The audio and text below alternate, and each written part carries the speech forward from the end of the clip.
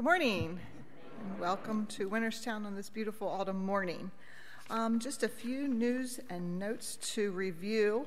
Um, one important one, I think, is the baked good donations that are needed for the Live Nativity weekend. Um, don't forget that. There's um, sign up sheets and to contact Beth Kobe. Also, um, United Methodist Women will be sponsoring the Christmas cover dish again this year on December 14th at 6 p.m. here in the all purpose room. Um, a sign up sheet is on the bulletin board in the narthex. And also tomorrow afternoon at 1 p.m., the officers and the work area chairs will meet in the conference room to plan for 2016. Um, we have a couple people who want to make announcements.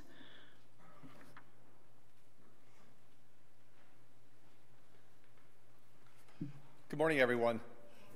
Uh, I'd just like to say that over the past couple weeks, there's been a lot of activity going on here in the church, which is great. Uh, I know during the first service last week, there was a lot of talk about the different activities and going on, so to speak. The one thing I'd like to just uh, tag along with that is it's great to have all the activities, and we really appreciate it. We certainly want to continue all the activities. But something we need to ask of the people in charge of the activities is at the end of the activity, please let's make sure we get the lights turned off, get the doors locked, and just secure the building as we found it when we come in in the evenings. Uh, we're finding uh, feedback from people coming down later in the evenings or the next morning. We're finding lights that are left on, doors that are left open. Uh, we certainly want to use the facility because that's what it's here for. We want to have the, the outreach, the missions, the study groups, whatever's going on. Please continue all that. But if you are someone that's in charge of these activities, take the responsibility to lock up the doors, turn the lights out, and enjoy whatever you're doing. Thank you.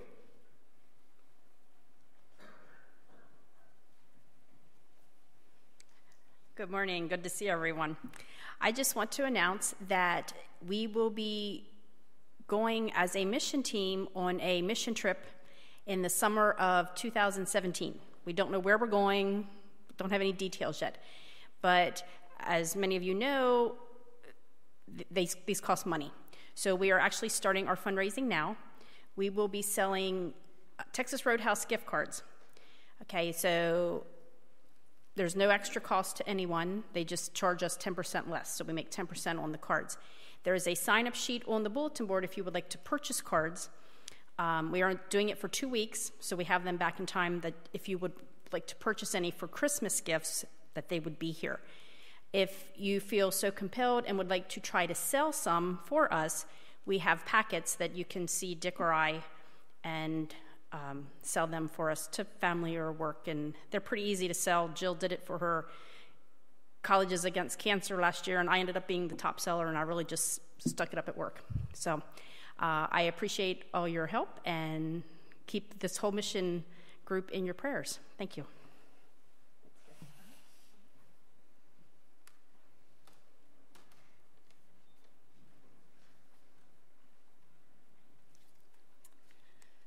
Good morning. I just want to thank everybody that helped out yesterday and helped out all summer with getting vegetables and everything with the canning. Uh, I want to give you a quick breakdown of what we've taken in yesterday, uh, and this is the total. We have bills uh, such as the food and things like that that's going to come off of here, but uh, in the food and the bake sale area, they took in 1,117.75. And in the candy cane shop, where they had the donated Christmas items, they took in 244.61. And it was all donations. And if somebody had a little item that should have only been a quarter, they paid the ladies $5 for it. So they did a fabulous job in there. And uh, the canned goods, uh, prior to the sale, we took in 529, and yesterday we took in 429.06 on canned items, and we still have some that need to be picked up and paid for.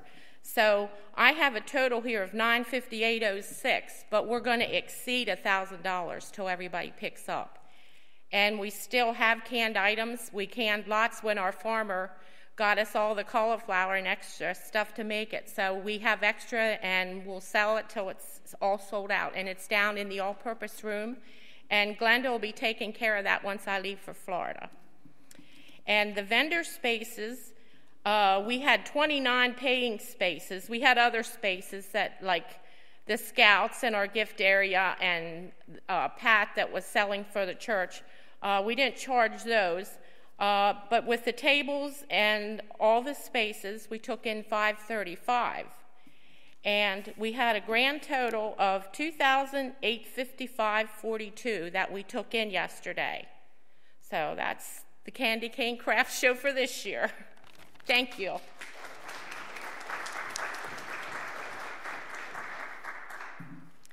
Okay, birthdays this week. Before I get into those, I want to remind also the um, Betty Landis is having an 80th birthday coming on Thursday. If you would like and be able to send her a card, probably should get in the mail early this week. Um, her address is in the bulletin this week.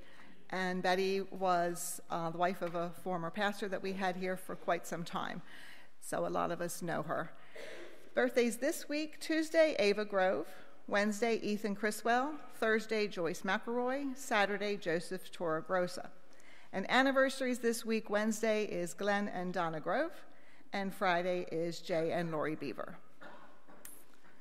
And if there's nothing else, we will go into our time of fellowship. So if we would like to get up and welcome each other this morning.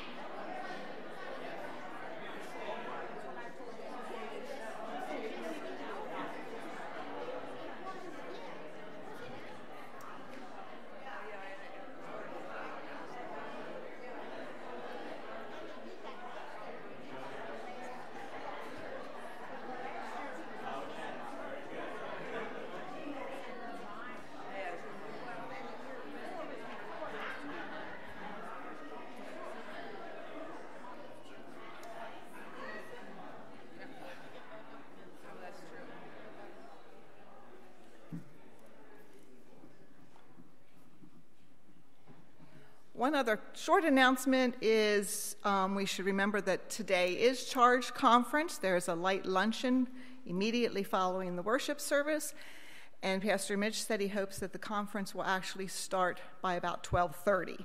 So that's important. Um, anyone is welcome to come out and attend that. Also, there was a birthday that was missed this Friday. Is Linda Deerdorf's birthday? So happy birthday there. Okay, and don't forget to use the hand sanitizer on the end of the aisles.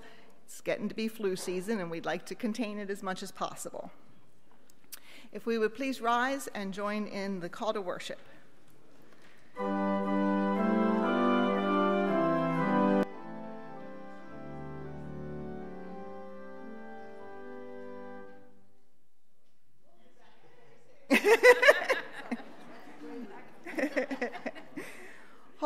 Holy, is the Lord God Almighty, who was and is and is to come.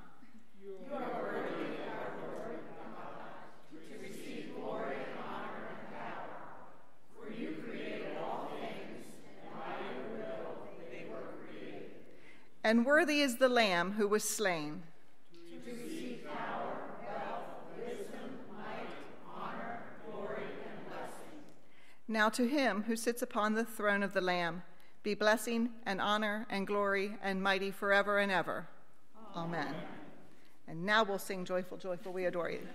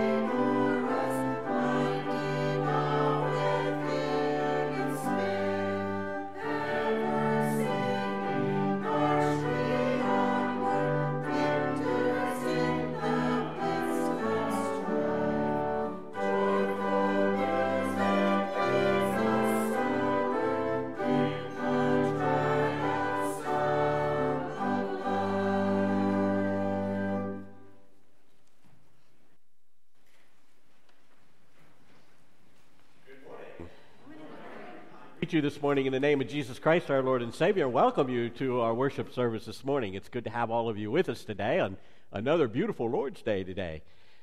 We bring before the Lord now our joys and our concerns, and if you have a joy or concern, uh, we will bring the microphone around to you.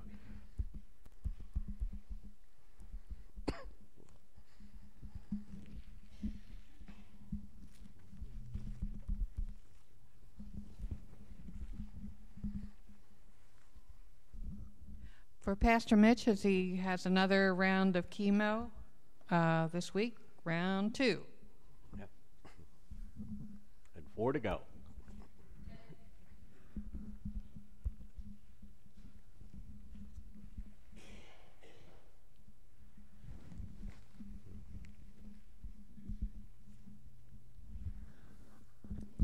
Now let us pray.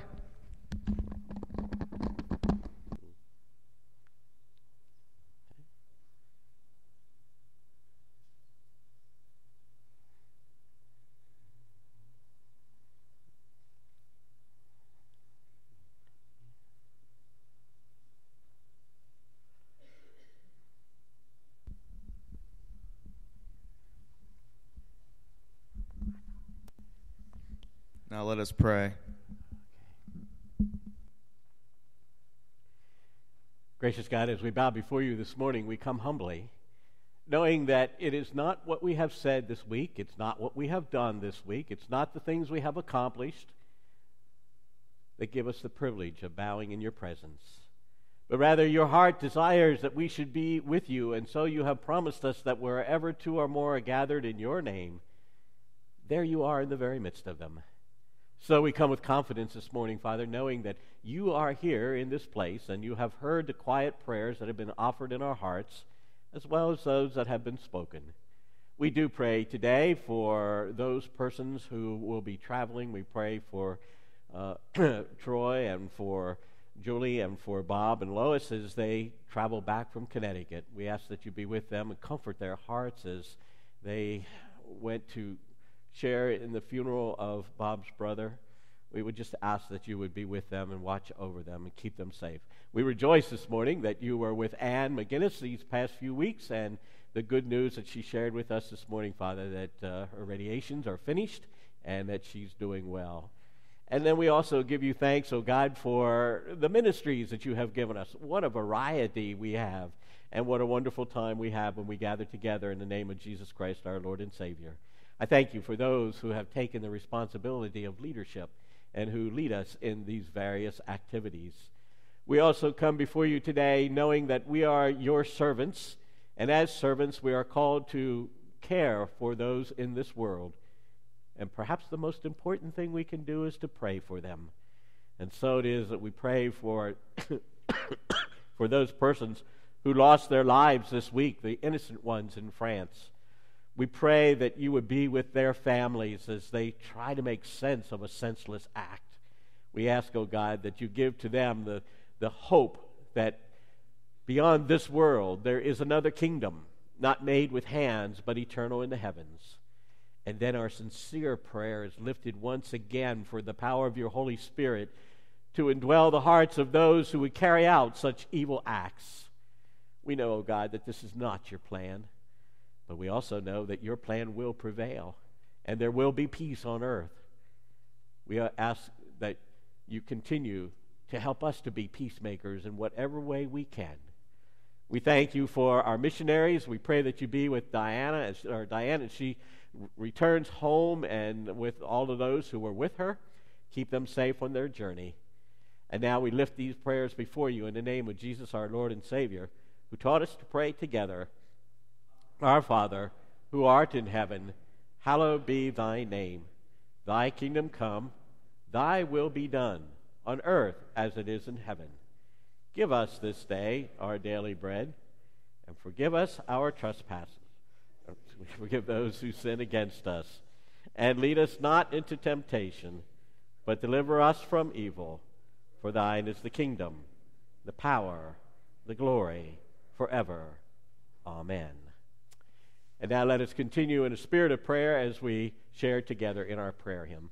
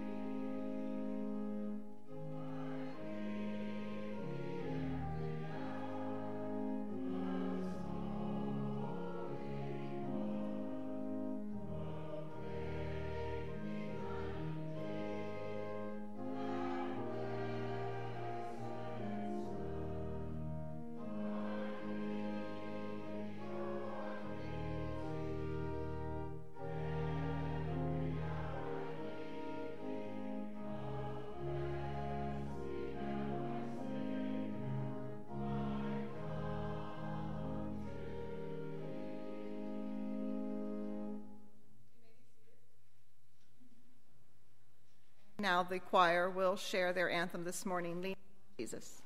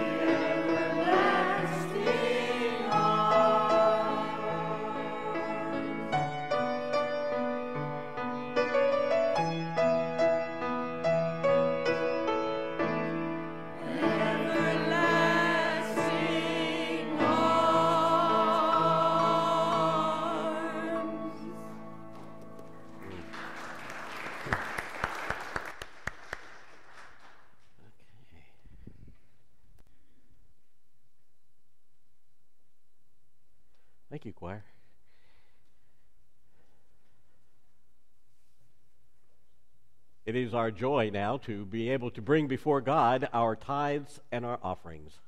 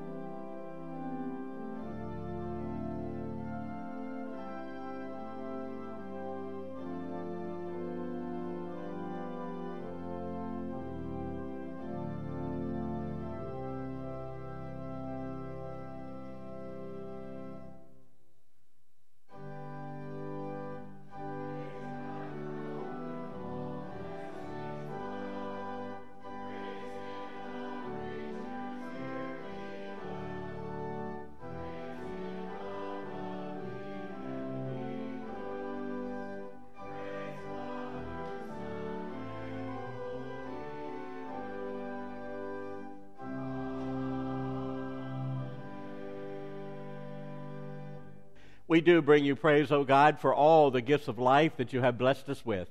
And we pray that by the power of your Holy Spirit, you will enable us to use these gifts wisely, that others may come to know of your love and of your faithfulness. I thank you, Father, for those who continue to give of themselves in so many different ways. And we ask now your blessing upon them and upon these gifts. In the name of Jesus Christ, our Lord and Savior. Amen. You may be seated.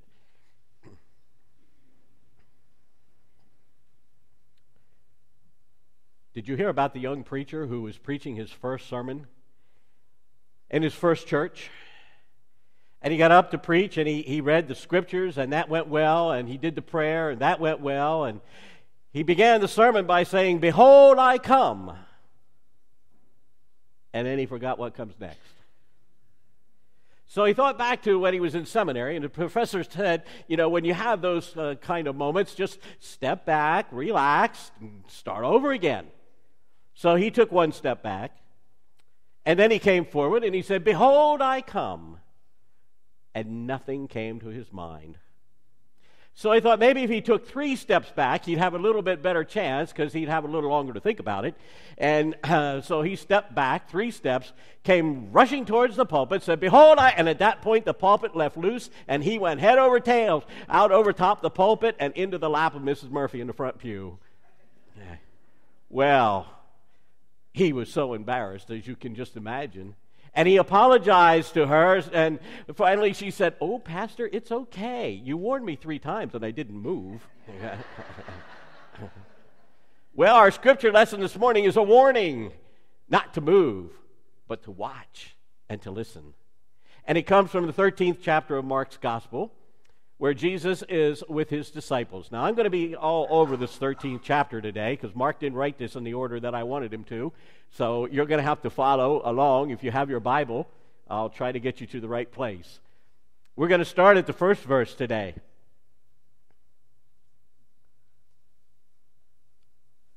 Mark says that as Jesus came out of the temple, one of his disciples said to him, Look, teacher, what wonderful stones! And what wonderful buildings.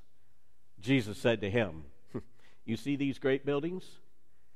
There will not be left here one stone upon another that will not be thrown down. Then, as Jesus sat on the Mount of Olives, which is opposite the temple, Peter and James and John and Andrew asked him privately, Tell us, they said, Tell us when these things will take place, and what will be the sign when all of these things are accomplished. Jesus began to say to them, Take heed that no one leads you astray. Oh, there will be many who will come in my name, saying, I am he, and they will lead many astray. And when you hear about wars and when you hear about rumors of wars, do not be alarmed, for these things must take place. But this is not the end yet.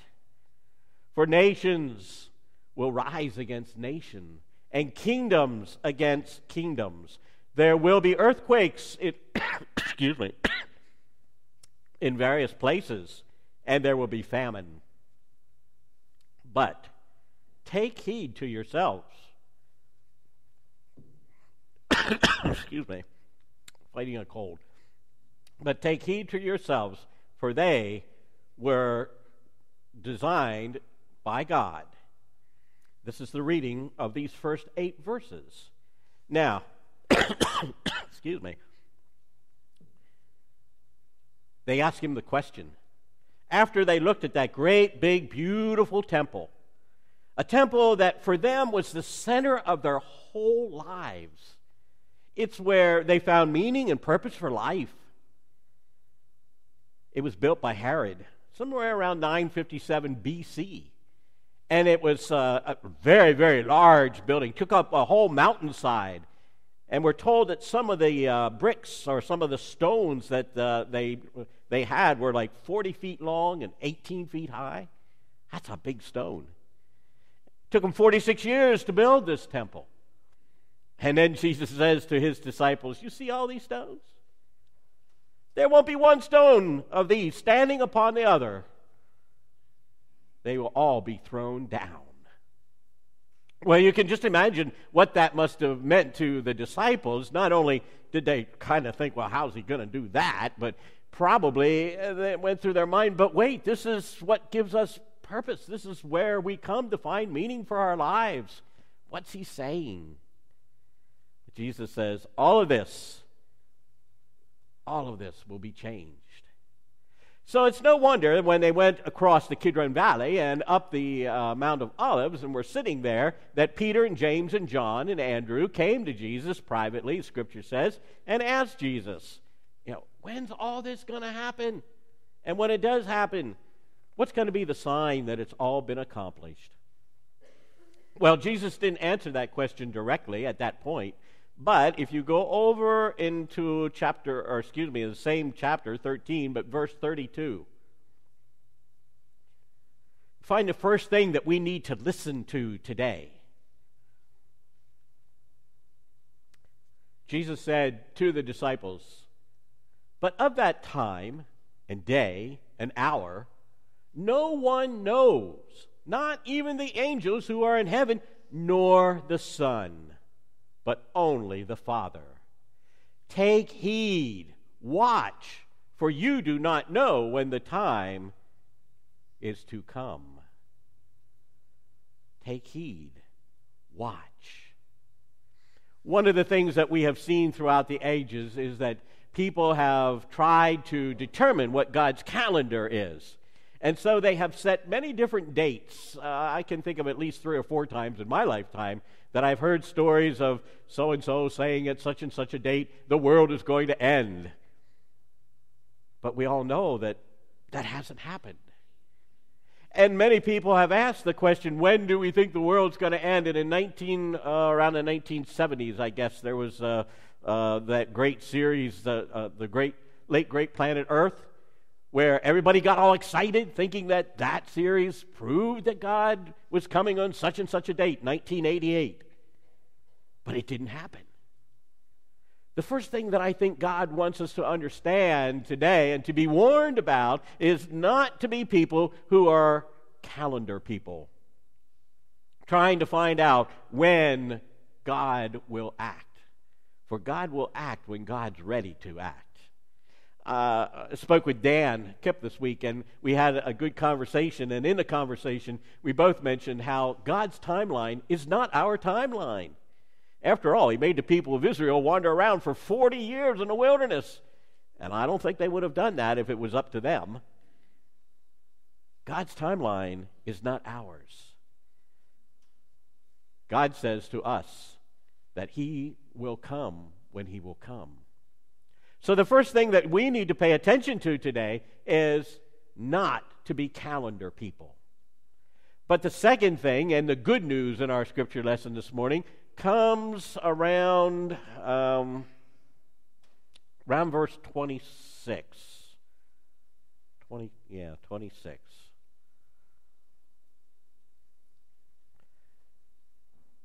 This is the second thing that we need to pay attention to today.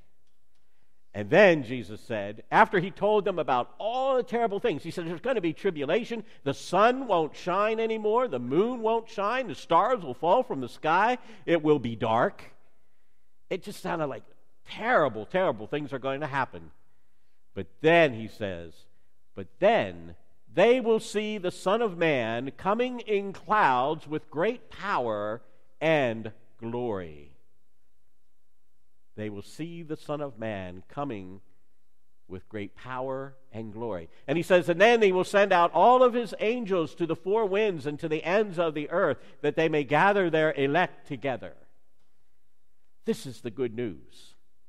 We don't have to worry about the calendar because we know from what Jesus teaches us that history is not moving towards an undetermined future but that God is still in control. Among my top five favorite hymns is This Is My Father's World. I think we've already sung that since I've been here. And I like all the verses, but I particularly find comfort when I listen to the news, especially this week, and learn that 129 people, innocent people, were killed while attending a concert or eating in a restaurant or just going about their usual day's living. When we hear stories about people who had to leave their homes because of the evil that was coming their way, and now they don't know where they're going to end up. In times like that, I remember the last verse of this song, This is My Father's World when the writer says, This is my Father's world, and though the wrong seems oh so strong, God is the ruler yet. This is my Father's world. He said, Why should my heart be sad? Let the heavens ring, let the earth be glad.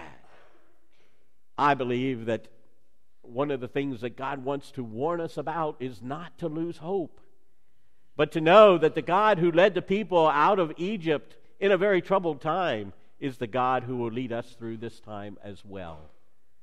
God has a plan for history, and we believe that that plan is going to be fulfilled in God's time. This is the hope that we live by as disciples of Jesus Christ. It's the hope that I think the world needs to hear today. This is the word that Jesus shared with his disciples. And prior to sharing these words, he said to them, You're going to be persecuted. You're going to be brought before the authorities and the governors, and they're going to test you and challenge you. But he says that's not the end of the time. The end of time comes when we will see the Son of Man come in the clouds with great power and glory. And then the third thing that I think we need to pay attention to today is that God does not want us to watch idly.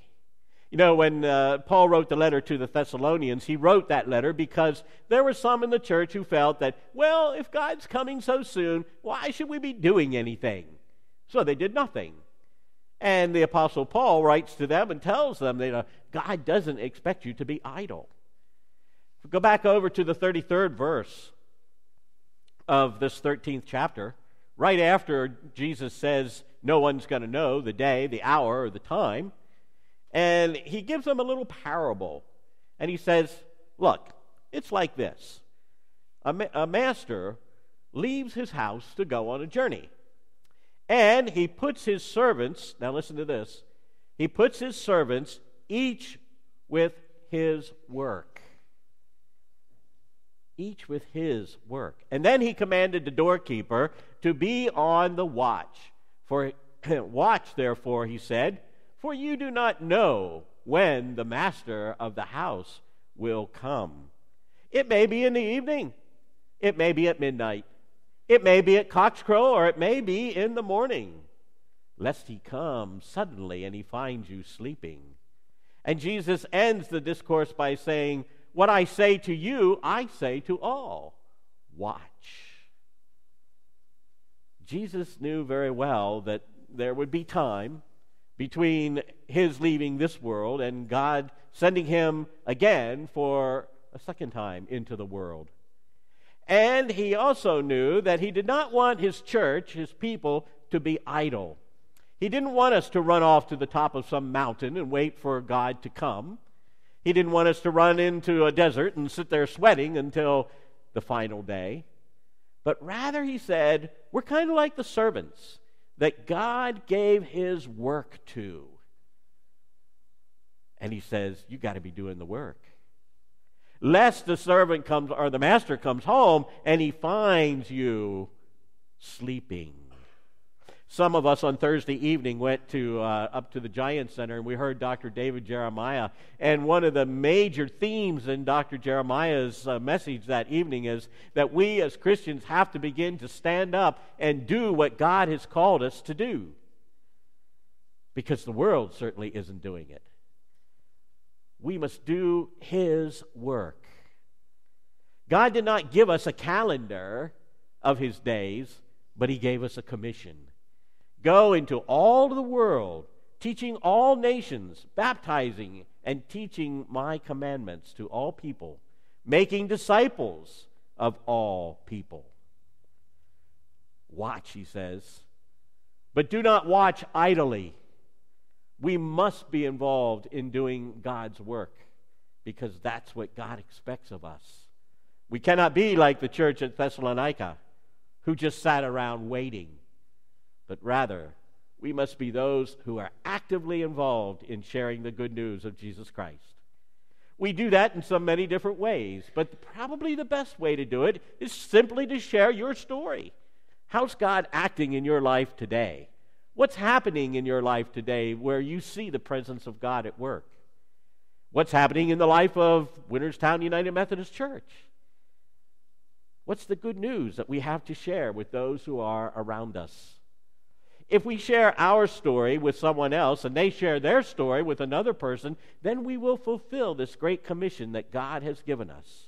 One person can't do it all alone. Jesus knew that. That's why he called 12. We must all be at work, as the parable said, doing his work. Each of us. So, this morning, we have a warning not to hold on to our calendars trying to figure out the day and the time and the hour when Jesus will come. We have a warning that he is coming again. That's the good news this morning. He is coming again. And we have a warning that until he comes, we must be actively serving as his ministers in this world. He didn't ask us to move. But I believe in the 13th chapter of Mark's Gospel, he did ask us to listen and to be aware. Join me in prayer. Father, I thank you for these words this morning. We, we, we, would rather skip over this 13th chapter because the images there are uncomfortable to us. But you know, God, that they are put there for a purpose to warn us as you warned your disciples in their time that calendar watching is not our job, but it's God's job. To remind us of the good news that no matter how wrong the world may get, that yet their time will come when the darkness will be overcome by the light. For you have promised us that since that light came into the world, the darkness cannot overcome it. And Father, we do pray today that you would help us to be actively involved in the work that you have given us. We pray these things today in the name of Jesus, our Lord and our Savior. Amen. And now, will you stand with me as we join in singing together, Lift High the Cross?